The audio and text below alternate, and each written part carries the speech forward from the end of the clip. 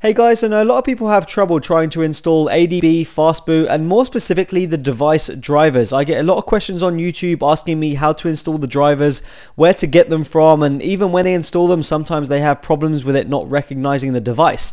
So I wanted to make a video here showing you how to do that, and thanks to a new tool from an XDA developer, it's not going to take you very long at all. It's probably going to take you 15 to 20 seconds. It's really quick and easy. As always, all the links are included in the description.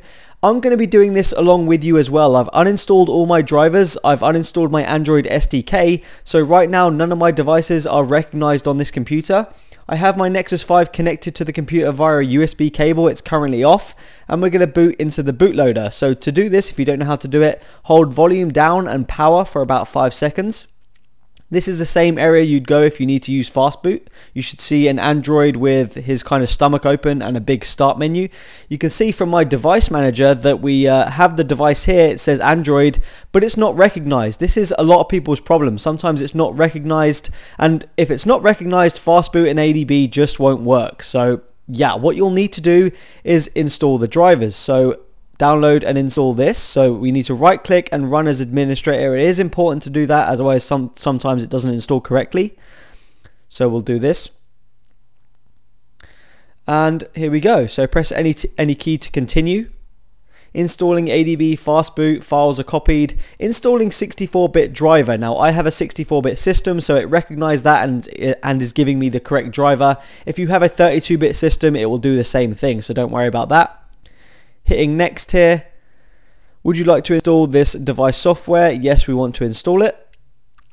And you can see this is going to take some time, so we'll just uh, fast forward this bit.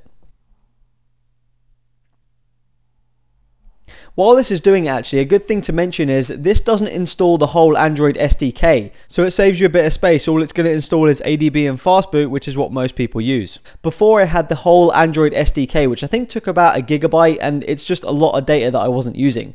So here we go, it's done. You can see the device manager has rebooted, and we now have Android bootloader interface. We'll hit finish, this uh, little CMD will disappear and in terms of where it's actually installed it to, it's installed it to the Windows directory, so into the C drive and into Windows. Now you don't need to go in here at all because this is actually accessible through anywhere in CMD because it's installed in the Windows directory. You can actually see it, ADB and Fastboot. But all you need to do now is search for CMD. Whoops. Search for CMD. There we go. And open this and we're going to type in Fastboot devices just to test it. And there we go. You can see the device. Now, if it if it doesn't recognize the device, it means the drivers aren't installed correctly, but that shouldn't be a problem now because they are. And you can now use fast boot. So what we're to do now is boot into recovery and check out ADB. So boot into recovery. We'll check out the device manager.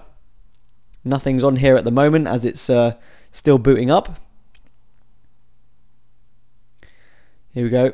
And there you can see right now that it's not actually recognized. It's not using the driver. You can see it's AOSP on Hammerhead. So what you'll need, and if we just test this out, we'll type in ADB devices. Uh, you'll notice that it won't recognize the device because it's not using the driver. That's what it looks like when it doesn't recognize a device, just an absolute blank space.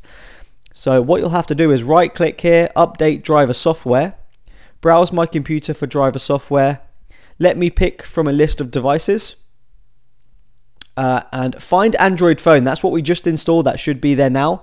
Hit next. And inside Google Inc, you'll have ADB interface. Now you'll also see some other ones like bootloader interface. That's the one for fastboot. So we don't want to install that one right now. We want to install the ADB one. We'll use the latest version of it, the uh, 8. Hit next. Hit yes. Let it do that. Android ADB interface and you'll now see in device manager. There it is Android ADB interface. So we'll do that same thing. We'll do ADB devices over here to test if it's working. And there you can see the device in recovery mode. Now ADB is really useful. You can use things like ADB sideload. I'll just turn that on in recovery and we'll test the same thing. ADB whoops yeah ADB devices and now you can see it's in sideload mode. So there it is. That's as simple as it is using this tool. It doesn't take very long at all. You should have ADB, uh, ADB and Fastboot installed and all the drivers you need. So yeah, let me know how it goes for you guys. Peace out.